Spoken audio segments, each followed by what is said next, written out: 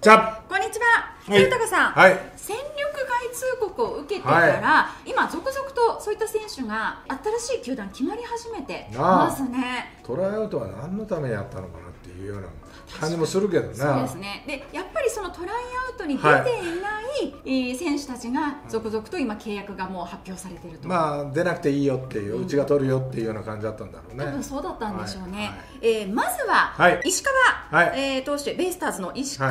投手が巨人が獲得となりました。そうだね、はい。まあ投げっぷりもいいしな、はいそうです。俺はできると思うけど、d n a がなんで枠の問題なのかかわからないけども、はい。なんでクビになったのか育成出しはわかうん、そうそう。わからないぐらいの、はい。い、いピッチャーだと思うよ。そうですよね、うん。今シーズンは15試合に登板、えー防御率1.93のはい。好成績ということで、はい。巨人に入るとどういった役割になっていきそうですか、まあやっぱり中継ぎだろうな。中継ぎからスタートすると思うけどな。そうですよね、おそらく。で、やっぱ先発ピッチャーってさ、はい。井上も育ったし、はい。そこそこ左でいいピッチャーいるもんな。横川もそうだし、はい。いいと思うよそうですね。だからそういう横川をまあ頭に持っていくんだったら、うんうん。まあ、石川みたいなピッチャーを、はい。その横川の代わりにっていうのもできるしね、うん。しかも即即戦力という感じになっているまあ、チャンスはあると思うよ、うん。うんチャンスはもらえると思うよ、うん。うんただやっぱ急にこう層が厚くなってきてるからねね。巨人はね。確かに。優秀なピッチャーが多いからね。そうですよね。うんだから、まあ、そこら辺で勝ち抜いていかないからな、はい。さあそして楠本選はい手ですけれども、d n a の阪神が獲得ということで、はい。はいこれはね、まあ、阪神ファンはあの楠本選手取ってくださいなんてずっと言ってましたけれども。いや今年はちょっと状態悪かったのかわかんないけども、バッティングはやっぱこう非凡なものを持ってるし確かなものがあるよ、うーん。だからそういう意味では、まあ、糸原と、はい。えー楠本、はい。まあ、代打の切り札とか、そうですね。うんなりうるし、はい。先発で使ってもねたまに使っても面白い選手だと思うよ、うん、今シーズンは d n a の2軍で65試合に出場してはい。打率2割6分3厘、ホームラン4本19打点ということで、まあ、2022年からは2年連続で93試合出場したというそうそうそうそう。左のバッターですけれども。バッターね。はい。いやだから、まあ、例えば渡来とかね、はい。梶原とか、うんああいう若手がこう出てきた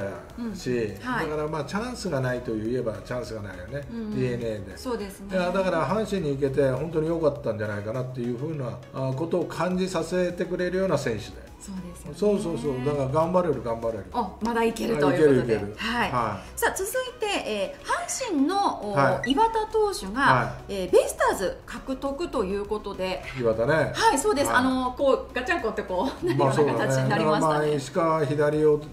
切って、はい。まあ変則を取ってきたというね。そうですね。まあそうだな、だから岩田なんていうのは、はい。俺出てくると思うよ、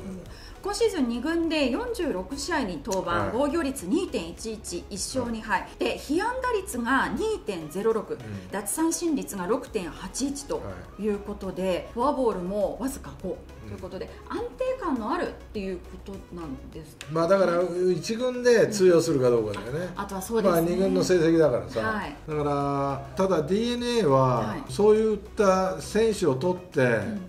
戦力にしてるからねちゃんと。あそうですよね。堀岡とか、はい。あ中川とか、あそうやった選手を本当に戦力としてね、うん。使ってるから、はい。だからまあそういう意味ではこう他のチームでは芽が出なかったけども、うん。d n a に来てはい。芽が出そうな感じはするけどね、そうですよね、はいあと左のサイドという意味でも、はい。なかなか左のサイドというとベイスターズって、まあ、エスコバがいた時はな、はい。エスコバは1点でよかったんだけどさ、はい。だからまあでも変則っていうのは必要だしな、そうですよね、まあ、貴重な戦力になってくれるといいよねそうです。d n a にね。そうですよね、はでさらにですね、えー阪神の梶谷投手はが楽天に決まったと。はいはい。いうことで今シーズン、梶谷投手1軍で、まあ、13試合しか中継ぎで投げなかったんですけどまあ、防御率4.50だったんですが2軍では29試合に登板して防御率0.68と。まあ、ちょっと状態が悪かったな、から力が落ちたっていうよりもなんかこう調子が上がってこないというかさ、はい。まあ、そんな感じを受けたんだよね、うん。だから、まあ、来年になってくるとはい。また全然違ったような感じになってくると思うし、うん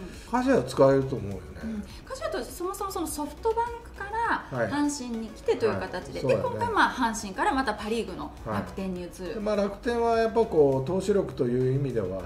少し数が足りないかなっていうような感じがするから、はい。だからそういった意味では梶谷は貴重な戦力になってくれるかなっていうふうには思う、ね、そうですよね、はい、貴重な中継ぎの戦力と梶谷投手になれそうです、はい、さあここからは育成という形での契約になっていくんですけれども、はい、まずは三浦投手が中日に育成というのが決まりました、まあ、中日はウエスタンで、はい、多分ソフトバンクとやってるからだからね、まあ、育成で取ったとしても、やっぱ貴重な左腕になる可能性はあるよ、うんうん。中継ぎの、はい、まあ福とかね、はい、えー、そういうピッチャー左でいるけども、うん、やっぱ力があればすぐ支配下になって、はい、一軍で投げられるという、うん、やっぱねしっかりしたファームの成績も出してるもんね。そうなんですよね。あの今年3年目で7月に支配下登録ソフトバンクでされて、はい、で1軍で5試合に登板。2軍では防御率1.60で最優秀防御率のタイトルを獲得しているというので、それがクビになるんだからすごいよなそうなん。ですよねいやだから中日ではすごくチャンスがあるし、はい、バンテリンドームというね、うん、広い球場を味方につけて投げたらもっと勇気を持って、はい、まあ、投げられるかなっていうような感じがするし。そうですよね、まあ、育成とはいえ、はい、まあ、すぐなんか支配下になってきそうな、うん、まあ、そんな予感もするようなピッチャーだよね。そうですね、さあ続いてソフトバンク笠谷投手が、DNA の育成に決まりました、まあ、笠谷はね、うん、本当に毎年期待してたよ。言ってましたね。いややっぱね球の力があるから、うん。うん、ただやっぱ精度だよね精度とやっぱこうなんでダメなのかなと思うとさやっぱあとは性格的なもの。メンタル的なだからマウンドに上がった時にやっぱ気持ちが弱くなるとか、はい、まあ、そういうことしか考えられないんだよね、うん、持ってるものっていうのはすごく素晴らしいものがあって、はい、勝てるピッチャーなんだろうなっていうふうに思ってしまうんだけどさ、なかなかやっぱ結果は出してくれないよね。そうですね。ただまあ DNA になって、まあ、どういうふうに変わってくるかっていうことだよね、うん、環境が変わって。ね環境変わってリーグも変われば、ね、もう早く環境を変えてやりたかった一人だったけどもね。そっか。じゃあこれいいチャンスと捉えてるね、まあ、DNA も取ってくれたからね、はい。まあ、チャンスだよ。さあ続いて阪神の遠藤選手は、はい、オリックスの育成で契約となりました、うん、はいここら辺もやっぱこう見てるからね、うん、オリックスは、はい。まあ、いろいろ試合をやりながらとかね、うんうん。まあ、情報交換もしながらということだったと思うから,、はい、だそこら辺の情報は間違いないかなっていうような感じがするよね。そうですね、うん、今シーズンウエスタンで最高出塁率のタイトルを獲得ということで、うん、まあ、若手野手との競争に今なってくるとは思うんですけれどもオリックスの中でいやまあでもね、うん、茶野が育成からひととき、はい、ちょっと一番打ったりだとか、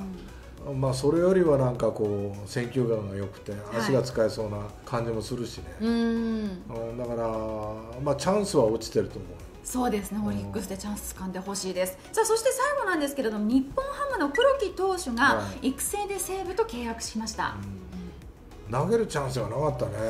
なかなかね、日本ハムでね。そうですね。でも、もともとそのオリックスから日本ハムに来て、はいうんでオリックス時代っていうのはキャリアも結構積んでるからね、はい、だからそういった意味ではちょっとよかったらすぐ使えるような、はい、あ感じではあるよ、うん、あの黒木投手通算135試合の登板経験がやっぱりありますし、はい、やっぱ速球派ということで、まあちょっとイメージは変わったかもわからないけどもねここ何年かで、はい。うん、だけど経験値とすればすごく高いものを持ってるし、うんいろんなこう修羅場もくぐってきてるピッチャーだけに、はい、まあまあ力になれるかなっていうような感じはするけどね。そうですね。はい、まあ西武というとねちょっとまあ先発の枚数は揃ってても中継ぎが、っていうところでちょっと不安定さもあったりとか。まあそうだな。はい、まあそういうところはあるよね。のでまあ育成とはいえやっぱり結果を出せばすぐ支配下。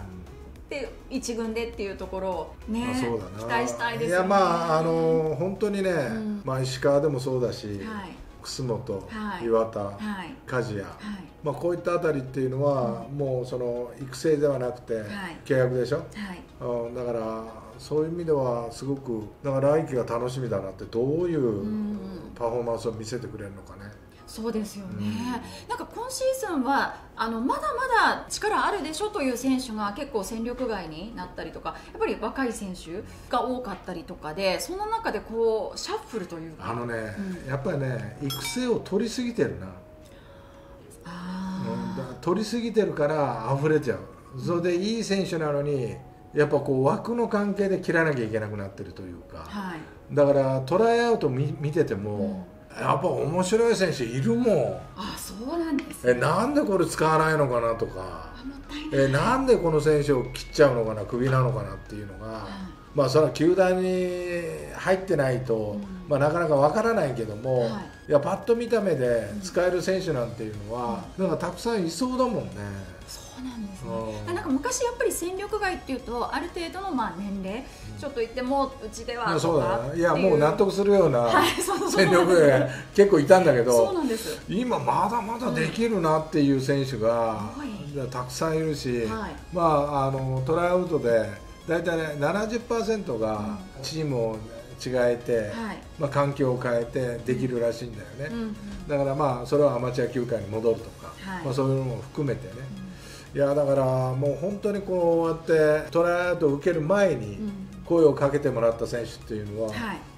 当に活躍できると思うそうですよね、うん、確かだからもう臆することなく堂々とプレーしてほしいなっていうふうには思う、ね、そうですよね、はい、まあ、今段階で、えー、もう獲得というか契約が決まったという選手をピックアップしましたけれども、はい、その他にも例えばソフトバンクの中田あ選手が、はい、えー、西武が獲得調査するんじゃないか、現段階で。っていう情報ももちろん出てますし、その他にもまだまだ戦力外になってえー、獲得かなんて言われてる選手も何名もいるので決まったらまた、ね、こうやって動画で、はい、まあ本当にいっぱいの選手がいるから。たくさんですよね、まあ、あの球団関係者を見るのは大変だと思うけどもね。そうですよね。まあまあだけどいろんな野球があるからさ、うん、それも経験の一つとしてね、はい、まあ、アマチュアに戻るのもよし、うんうん、そういったね契約がもらえなかったプロではもらえないって言った選手はね、うん、いろんな道があるから、はい、ね、野球は諦めないで頑張ってほしいなっていうふうに思います、ね、そうですね、はい